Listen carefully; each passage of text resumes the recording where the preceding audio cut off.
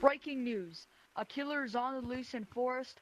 We do not know who it is or what it is at all, really.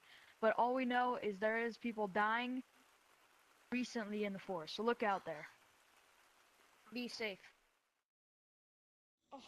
I heard a lot of bad things happen here, but I guess it's just a myth. What was that lightning strike? Wait a minute.